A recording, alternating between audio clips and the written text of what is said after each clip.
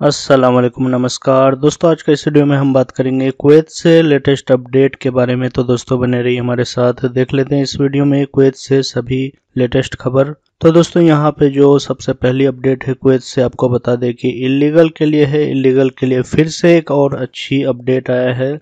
दोस्तों, जो लोग भी कुवैत में हैं, जिनका एकामा ख़त्म हो गया, अभी तक रेनुअल नहीं किया है, ये कह सकते हैं कि अभी तक उनके लिए काफ़ी अच्छी अपडेट है।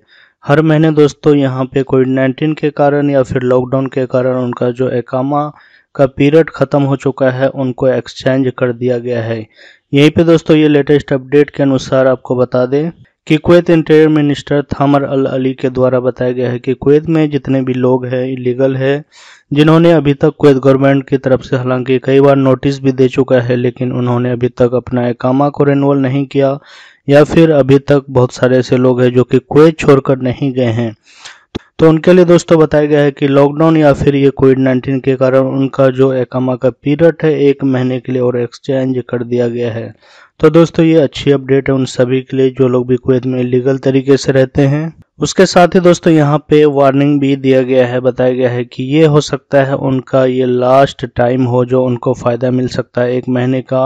उनके बाद जो कुवैत का हालात है, काफ़ी नॉर्मल की तरफ़ आ रहा है, जिनके बाद उनको एकामा रेनुअल करवाना होगा।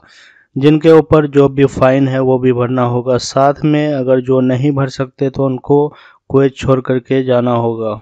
उसके बाद दोस्तों, आगे देख लेते हैं फ़्लाइट वीज़ा को लेकर क्या अपडेट है। तो दोस्तों, यहाँ पे बता दें कि बहुत सारे भाई का, तकरीबन सभी का जो भी क्वेश्चन है कि इंडिया से फ़्लाइट कब ओपन होगी और अठारह नंबर वीज़ा कब खुलेगा।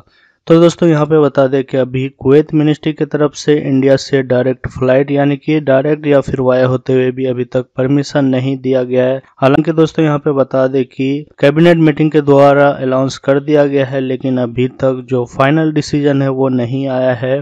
दोस्तों, जबकि पहले खादिम वीज़ा का एंट्री होता था कुवैत में क्वारंटाइन के बाद वो लोग एंट्री कर सकते थे, लेकिन इंडिया में भी बढ़ते हुए कोरोना वायरस के कारण उनके ऊपर भी प्रतिबंध लगा दिया गया है। तो दोस्तों, कोई भी अपडेट आता है फ़्लाइट वीज़ा को लेकर के तो इस चैनल पे आपको मिल जाएगा। दोस्तों कुवैत से सभी खबर देखने के लिए हमारे इस चैनल को सब्सक्राइब करें और इस वीडियो को ज़्यादा से ज़्यादा शेयर और लाइक करें। मिलते हैं दोस्तों कुवैत से अगले अपडेट के साथ।